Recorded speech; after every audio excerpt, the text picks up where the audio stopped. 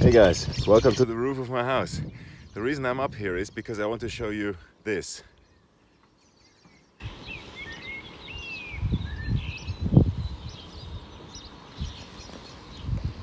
This is a toroidal antenna which I use to capture four satellites. Have a look.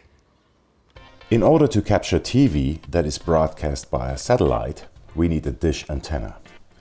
The diameter and orientation of that antenna depends on which satellite and which beam we want to capture and where we are located on the planet.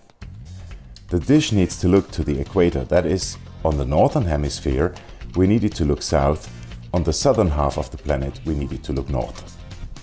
Hooking up a television set to the satellite signal is, or rather was, typically done by a set-top or receiver box that was added to the TV and hooked up to the cable coming from the satellite dish's antenna, the LNB.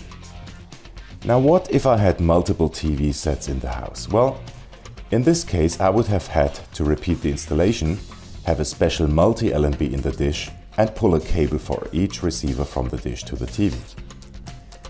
Now let's make this a bit more complicated and see what we need to do in order to capture multiple satellites. In Central Europe, we can capture the TV networks from various countries, but unfortunately they are broadcast on different satellites. If I added a motor to turn the dish, then everybody could only watch the TV program on one given satellite at a given time.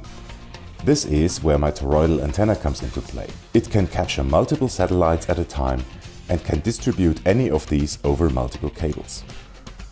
But this is not good enough. I do not want to pull cables to every receiver in the house. I already have Ethernet cabling and Wi-Fi. So I want to have a central receiver instance in my basement. This is a small PC running Docker and a software called VDR, which then takes care of distributing the signal over the IP network into my house. I can now hook up my TV to the Ethernet cable or Wi-Fi and watch telly from there and furthermore I can add virtually any device that can display video to the network and turn it into a TV set, be it a laptop or a tablet. I can even watch television on my mobile phone. What do we need to build this? First, let's look at the front end. I'm using a very popular software called Kodi. Kodi has some features that make it great for my use. I can organize my movies collection. A couple of years ago I had started to rip all my DVDs and convert them to various formats and stored them on my OneDrive. With Kodi and the built-in scrapers I can organize them and search for additional information, such as specific actors or genres, production years, studios or directors. Other advantages of Kodi are the facts that it is available for free and also that it runs on a great variety of hardware, be it Windows, Mac or Linux. On top of this, specialized distributions are available which emanated mainly from the Xbox Media Center, which then became OpenELEC. Their goal was to provide a minimized Linux distribution with Kodi on it, just enough OS for Kodi. In 2016, the project split into two other projects. One of them is LibreELEC. LibreELEC is very well maintained, provides ready-made images for your SD card for hardware, such as the Raspberry Pi, the Odroid, the WeTek Play and others. I use LibreELEC on my Raspberry Pi systems and use them to watch television on my balcony, my veranda or in my kitchen. Another great distribution of Kodi is CoreELEC. They have more or less specialized on the S905 and S912 hardware. Those are small multimedia receiver boxes such as the Minix, the Beelink or the Tanix boxes. I'm using a Beelink and a Tanix TX3 Mini at home in my living room and guest room. These devices are very light and small and they sell for roughly 20 to $50. Now let's have a look at the backend. I'm using a software called VDR as a backend. VDR stands for Video Disc Recorder and is a software developed by Klaus-Peter Schmidinger roughly 20 years ago, in 2002.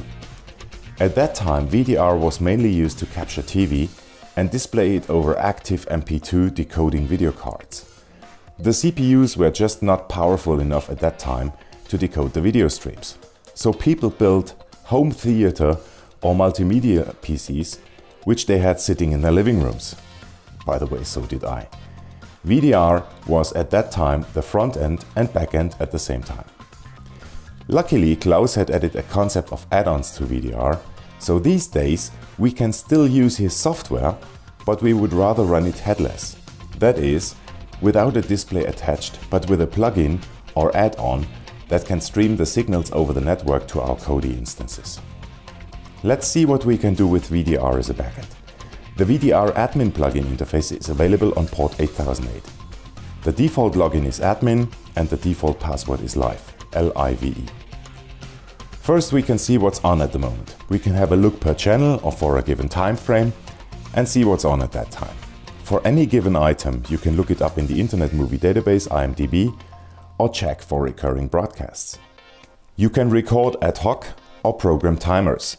Using the admin plugin together with the EPG search plugin allows you to search for words or terms in the electronic guide and automatically record the results. You could for example set it to automatically record your favorite TV show, such as The Simpsons or Family Guy or Rick and Morty, and then watch them at a later time and skip the commercials. I had planned to travel to Argentina this year. In preparation for my vacation there, I thought, hey, why not search for everything on Argentina, record it automatically and watch everything a week or two before I leave? Of course, you can also use this interface to manage your recordings, but this can easily be done from Kodi as well. Now let's see what we need to run this in a Docker container. I have written a little Docker file which you can download from my GitHub repository. The link is in the description of this video. The Docker file uses the Debian stretch image as a base and just adds the VDR binaries and some of the plugins using the Debian package management platform apt and dpackage. In former times you had to compile this on your machine from scratch, which sometimes could be a very time-consuming task. A particularity of VDR as opposed to other software solutions is that it needs ready-made initial config data to launch. That means you cannot start it with empty files and then just launch a scan. You need to do this beforehand. The plugins we use in order to stream the video signal into the network are VNSI server for the Kodi installations and StreamDev server, which can be used to stream a single channel or a complete playlist of all channels, for example to VLC using the HTTP protocol over port 3000. Furthermore, I have added the EPG search plugin that we can use to search for our favorite TV shows and FEMON in order to troubleshoot signal strength or dish orientation at setup times. The Live plugin gives me the web front and I've just shown you before that I can use to manage automatic recordings, search the electronic program guide EPG or just see what's on on telly tonight and maybe automatically record. The config files are in the target subdirectory and are copied into the container at creation time. Alternatively, you might put them on a volume which you then bind to the container. The main three config files are setup.conf, which tells VDR a couple of basic things, such as the IP address it needs to bind to, or how to resolve timer conflicts and so on.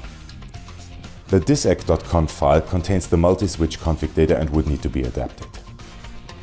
Here you can actually see what my DiSEqC switch looks like under the roof of my house. You can see the 16 cables coming in from the roof and six cables going out to the various terminals. We need to give VDR a list of TV channels. This file is called channels.conf and needs to be edited if you want to capture different satellites depending on where you live on this planet. Last but not least, we need to map or bind a volume to the container where it can store all the video recordings if you want to record it all. Great, now let's see which hardware we need. In order to watch television of any type, be it cable, over the air or satellite, you may use the Linux TV and Video for Linux V4L subsystem. In the documentation you can find a list of supported drivers and in the wiki you can find a list of some but not all supported hardware. If you are buying new hardware, I strongly recommend that you stick to supported hardware. If you already have a receiver and you want to see if it is supported, you may check here. In Northern America, OTA television is broadcast over ATSC. ATSC largely replaces the analog NTSC standard, which sarcastically had been called to be an abbreviation for never the same color. In China, the norm is called DTMB, in Korea it's called DMB. In Japan, South America and some African countries, ISDB is used. The rest of the world uses DVB-S or DVB-S2 for satellite, and DVB-T or DVB-T2 for terrestrial, over-the-air or OTA television. Cable TV in Europe is broadcast over DVB-C. As I live in Germany, I'm using DVB-S2 for satellite. In a separate video I will show you guys how to set up OTA television using a DVB-T or a DVB-T2 receiver stick and a small antenna. For this video I will not go too much into detail on how to get the video hardware working. Just so much that you will need to have a DVB device visible in the slash dev folder on the machine where you run Docker on. Again, I will do a separate video on getting the drivers to work for a set of hardware that I have lying around here at home. The receiver I am using is actually a receiver that needs a proprietary driver, the TBS5990. I chose this receiver at the time because I wanted to have at least two separate satellite receivers and a common interface. Installing the drivers after a kernel upgrade is always a bit of a lottery so I suggest that you stick to one of the widely spread and natively supported vendors in order to save you some headache.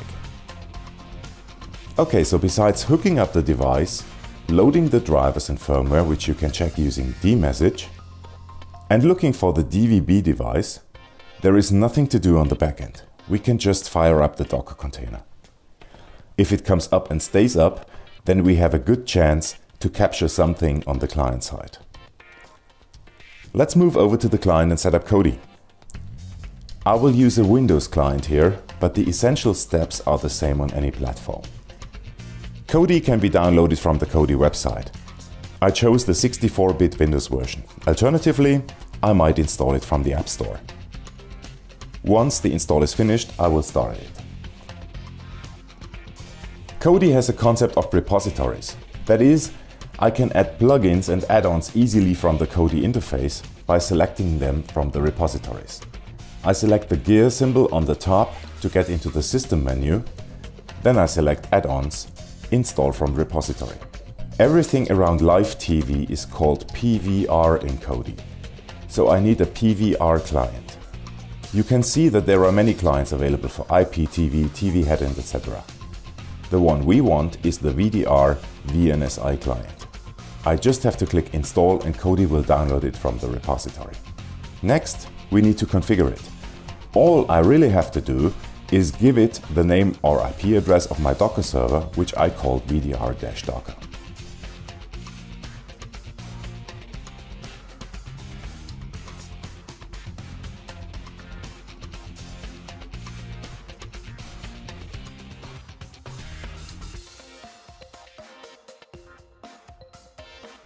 Here we go. I'm connected to my TV receiver and can now browse channels and recordings and watch live TV.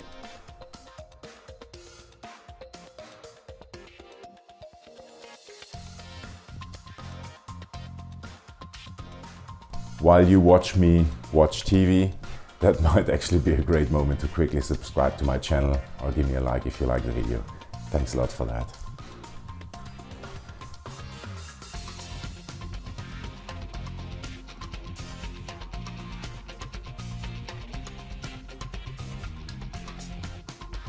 This already concludes today's episode. I hope you liked it. Many thanks for watching, liking and subscribing, sharing on Facebook, sharing on WhatsApp. Stay safe, stay healthy. Bye for now.